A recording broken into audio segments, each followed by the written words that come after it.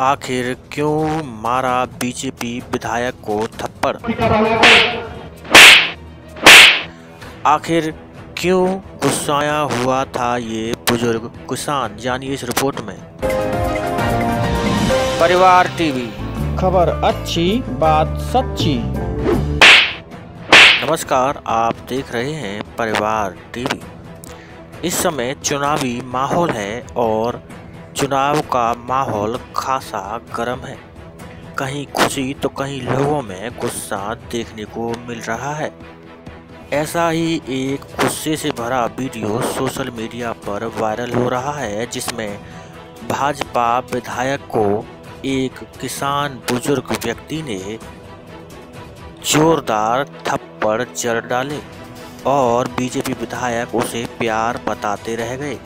UP विधानसभा चुनाव से पहले सभी पार्टियाँ चुनाव प्रचार में ज़ोर शोर से जुटी हैं। इस बीच बीजेपी के एक रैली का वीडियो सामने आया है, जिसे देखकर हर कोई हैरान है।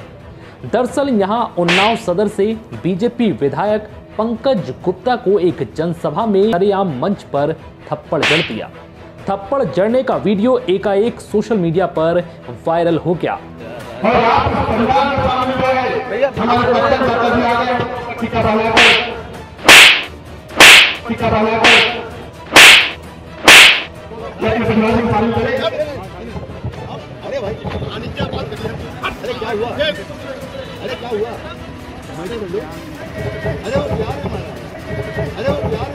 इसमें बीजेपी के उन्नाव सदर से विधायक पंकज गुप्ता मंच पर बैठे हुए दिखाई दे रहे हैं। तभी एक हरी और सफ़ेद टोपी लगाकर बुज़ुर्ग मंच पर आता हुआ दिखाई देता है। उसके हाथ में एक लाठी भी है। जब विधायक पंकज गुप्ता को लगता है कि बुज़ुर्ग पास आ गए हैं, इसके बाद वो थोड़ा आगे जाते हैं। बुज़ुर्ग इसी दौरान तपाक से उनके चेहरे पर थप्पड़ जड़ देता है, जिसका वीडियो अब सोशल मीडिया पर वायरल हो रहा है। आपको बता दें कि वीडियो में दिख रहे किसान बुज़ुर्ग व्यक्ति का नाम छत्रपाल है और आवारा पशुओं ने उसकी फ़सल को खा खा कर नष्ट कर दिया है। इससे नाराज़ होकर छत्रपाल ने भाजपा नेता पंकज गुप्ता को जोरदार थप्पड़, जड़ डाले थे। इसके बाद उस किसान बुज़ुर्ग व्यक्ति को वहाँ मौजूद सुरक्षा कर्मियों ने दूर हटाया था।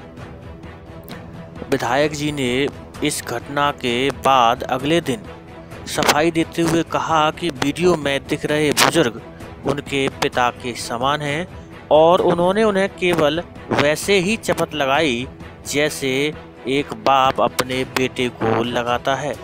वायरल वीडियो में एक किसान, भाजपा नेता, सदर विधायक पंकज गुप्ता को एक कार्यक्रम के दौरान थप्पड़ मारते हुए दिखाई दे रहा है, जिसके बाद मौके पर मौजूद सुरक्षा उन्हें ले जाते दिखाई दे रहे हैं।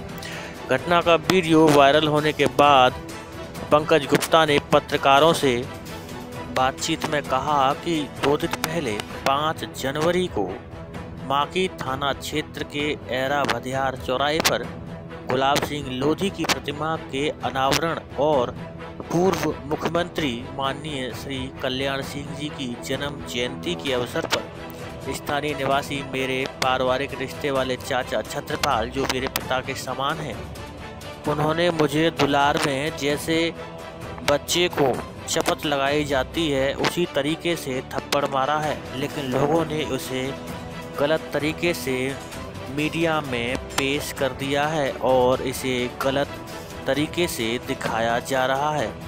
बहरहाल आपको इस वीडियो में क्या लग रहा है? ये थप्पड़ प्यार से मारा है या गुस्से में मारा है? आप हमें कमेंट कर सकते हैं।